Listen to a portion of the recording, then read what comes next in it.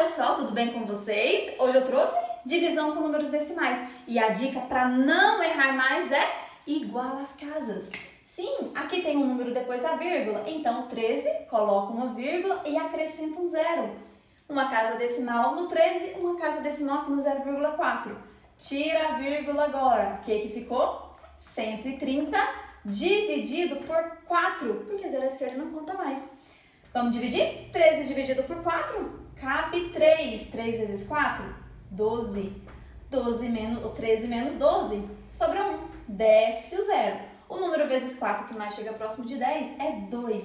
4 vezes 2, 8. 10 menos 8, sobra 2.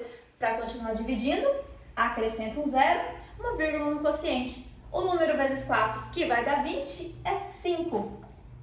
20 menos 20, zero. E essa foi a nossa dica de hoje. Beijo e até o próximo!